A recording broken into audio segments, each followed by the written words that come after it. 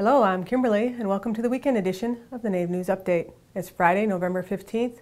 Many of the stories you hear here can be found at IndianCountryNews.com. And here's the news for the day from the Associated Press and other Native news sources. Attorney General Eric Holder announced the first public hearing of a new task force to examine the impact of exposure to violence on American Indian and Alaska Native children. This task force is anchored by both a federal working group that includes U.S. attorneys and officials from the Department of the Interior and Justice, and an advisory committee of experts appointed to examine the scope and impact of violence facing American Indian and Alaska Native children, and make policy recommendations to Attorney General Holder on ways to address it. The advisory committee will convene four public hearings across the country beginning in Bismarck, North Dakota, December 9th focusing on violence in children's homes, schools, and communities in Indian country. The other hearings will be held in Phoenix, Arizona, Fort Lauderdale, Florida, and Anchorage, Alaska, early in 2014. The advisory committee will be co-chaired by former U.S. Senator Byron Dorgan and Iroquois composer and singer Joanne Shenandoah. They will be aided by tribal members and national experts on American Indian studies, child health and trauma, and child welfare and law. For more information, you can check out justice.gov forward slash defending childhood. The Indian Health Service and the Notah Begay III Foundation are collaborating on activities aimed at preventing childhood obesity in American Indian and Alaska Native youth. The partnership will include sharing best practices in Im implementation of community-based activities directed at addressing childhood obesity in Indian country. The collaboration initiated November 12th was developed in support of the Let's Move in Indian Country program, which is part of First Lady Michelle Obama's Let's Move initiative. Obesity is a significant problem in Native communities. It is a risk factor for many chronic diseases such as diabetes, cardiovascular disease, and cancer, which are among the leading causes of death of American Indians and Alaska Natives.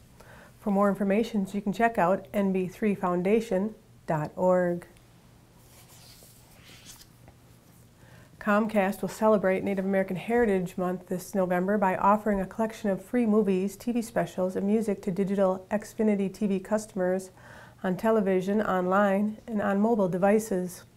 Plus, for the first time, the company will provide millions of video customers with exclusive access to the latest independent film festival content from LA Skins Fest and Red Nation Film Festival and Awards Show. The offerings also include Native American movies and TV specials from HBO and NBC.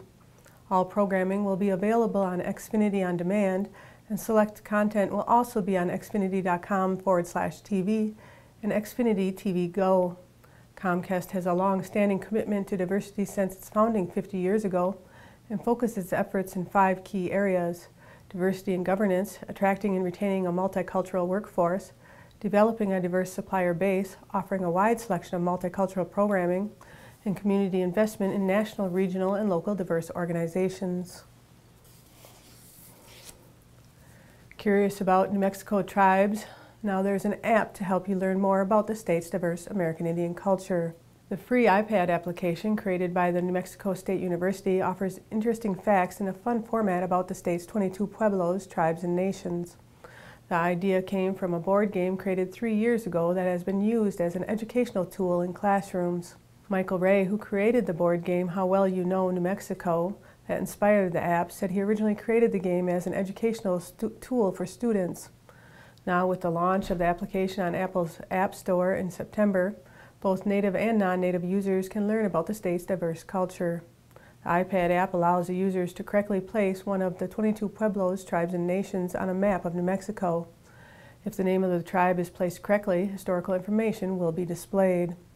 The app was developed by the university's Learning Games Lab, which has created early education applications for the iPad in the past and was funded by the university's American Indian program.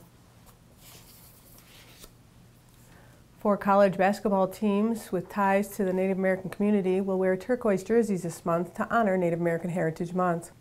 Florida State, Nevada, Oregon State, and New Mexico will don the special Nike jerseys during selected games. In 2012, Oregon State became the first university to honor Native American Heritage Month with the turquoise jerseys. Other schools have since joined the campaign to raise awareness of the benefits of exercise and athletics for Native American youth. And that's another roundup of news from Indian Country on this edition of the Native News Update. I'd like to thank you for joining me and have a grand day.